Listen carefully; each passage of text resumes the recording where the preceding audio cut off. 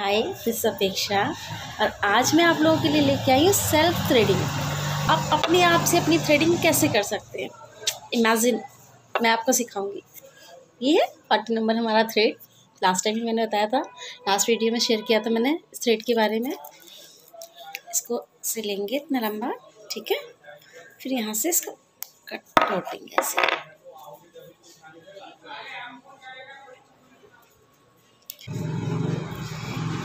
ये हो गया।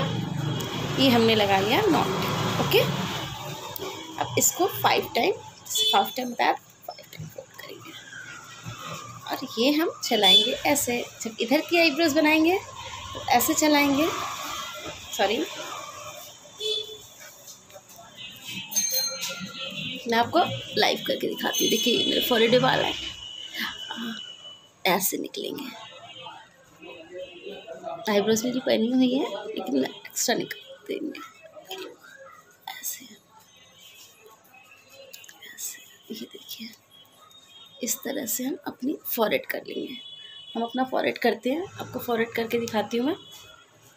सेल्फ का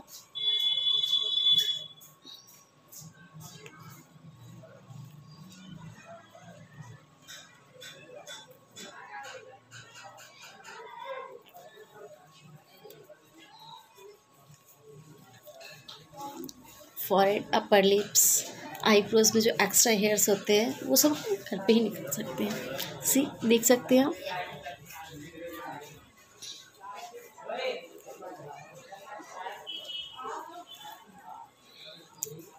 अच्छा आज का हमारा टिप्स है